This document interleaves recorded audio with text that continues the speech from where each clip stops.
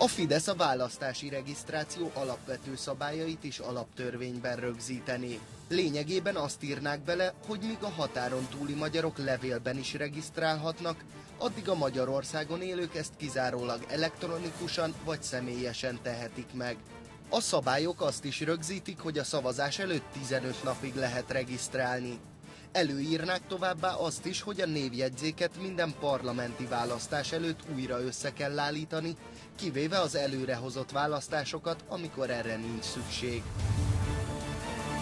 Harangozó Tamás a vendégem, jó estét kívánok! Jó estét kívánok! Akkor most már Micsoda telefont ide behozta a stúdióba? Olyasmi kütyű, mint az öné, muszáj lenne majd egy-két dolgot olvasnom, és tekintve, ja, jó, mert hogyha be... nincs bekapcsolva nyilván. Jó, mert ha belezavar a fülembe, akkor nincs, nincs. valamelyikünknek ki kell menni ebből a stúdióból, és lehet, hogy nem én leszek az, hanem a telefon. Na, szóval, hogy innentől kezdve, hogy alkotmányban rögzítjük a regisztráció feltételeit, akkor az okafogyottá válik az a, az a dolog, hogy hát majd kérünk alkotmánybírósági normakontrollt. Miről? Az alkotmányról? Tehát, hogy akkor ennek nem lesz alkotmánybírósági felülvizsgálata, az már szinte biztos, nem?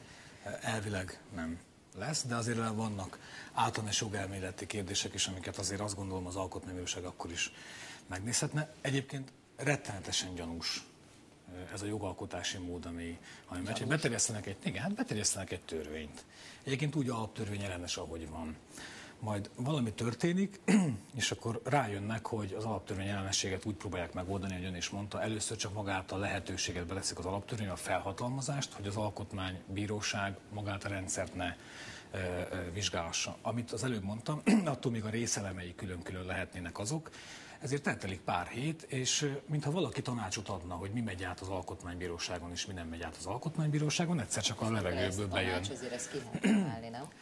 Nem tudom, tehát ez egy nagyon nehéz kérdés, de azt gondolom, hogy jövőben fogunk vele foglalkozni MSZP-s politikusokként, hiszen egymástól független forrásokból halljuk, hogy Lázár János rendszeresen járogat be az Alkotmánybíróság épületében, és azt gondolom, hogy az Alkotmánybíróságnak, ha, ha van ilyen, valóban ilyen mozzanat ebbe a dologba, biztos, hogy nem az a funkciója, hogy a kormánynak vagy a kormányzó pártoknak jogi tanácsadó testülete legyen, hanem az, hogy a magyar emberek érdekeit megvédje. Ez most egy zárójeles megjegyzés zár, volt. Nem zárja ki egymást, hogy mondjuk Lázár János bemegy az Alkotmánybíróságra, és az Alkotmánybíróság a magyar emberek érdekeit védi.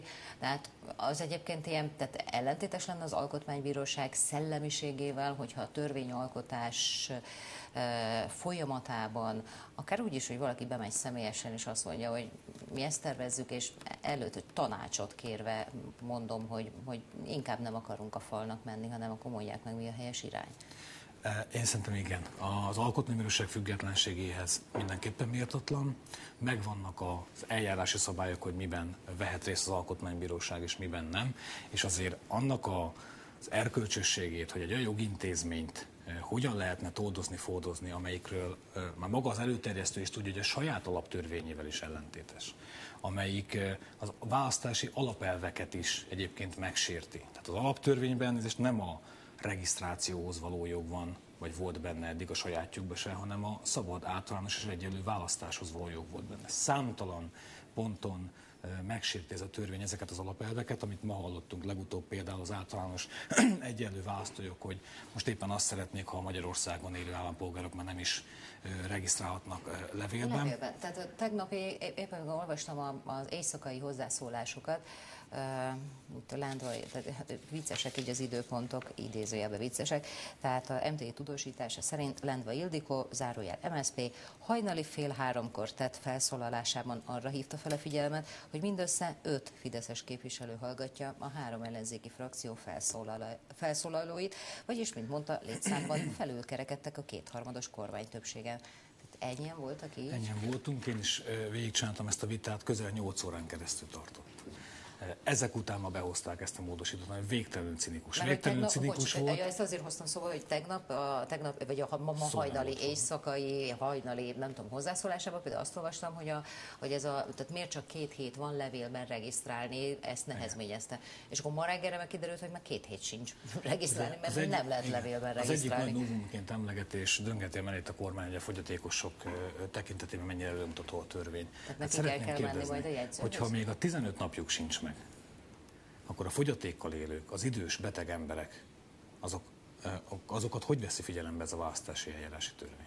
Tehát minden egyes településen el kell mennie a fogyatékkal élőnek, az idős beteg embernek, akár krónikus beteg embernek, és ha nem tud elmenni a polgármesteri hivatalba, akkor ki van zárva a választási jogából. Én néhány, ne, csak pont azért tényleg, mert túl sokat nem tudtam aludni, és muszáj egy picit ebből a szempontból puskáznom, hogy pontosan fogalmazok. Az én felszólásom az érdemi, tehát nem a két perces politikai vita, hanem az érdemi felszólásom arról szólt, hogy adjanak nekem választ arra, ami szerintem egymagában döbbenet, és szerintem ezért is el kell menni vitatkozni, ezek nyilvánosságra kerüljenek.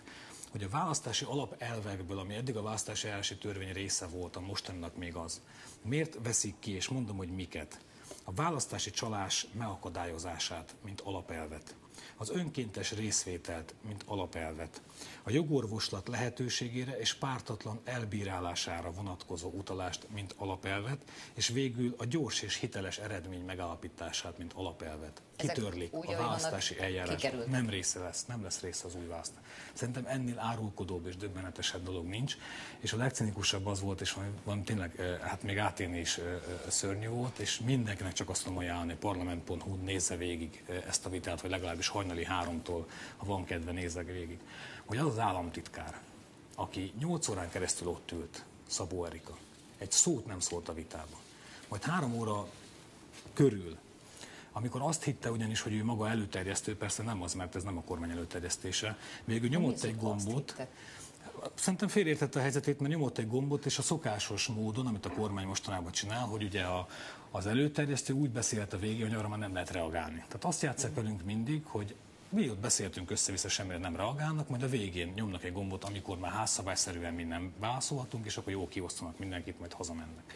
Ott rontotta az államtitkár asszony, hogy nem ő az előterjesztő, ezt szerintem elfelejtette, ezért tudtunk rá reagálni.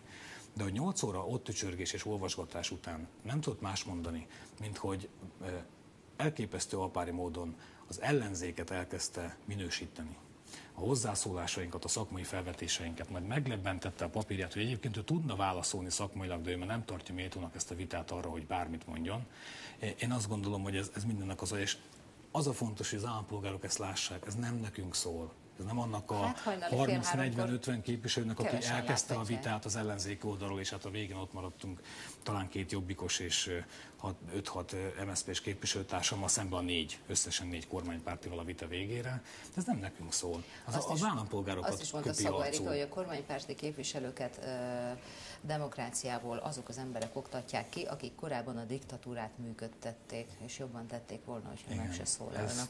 Na ez, ez az a rész, amire azt mondtam, hogy minősíteni is. Kár, Bárándi képviselőtársam felelt és megkérdezte, hogy ugye nem rá gondolt, vagy rám, és hogy, vagy a Lukács képviselőtársamra, de ez, ez, ez tudja üzenni ma a magyar kormány az embereknek, és még egyszer mondom, nem nekem szól ez. Nem is csak azoknak egyébként, ha már itt tartunk, akik merészeltek 95 érni ebbe az országba. Ez minden magyar választópolgárnak üzenni azt, hogy a magyar kormány arcú köpi őket, és nem érdekli őket, és bármit megtehetnek. Gondolják ők. Én azt gondolom, hogy ezen már nagyon régen túl vagyunk. Köszönöm szépen, hogy itt Köszönöm szépen.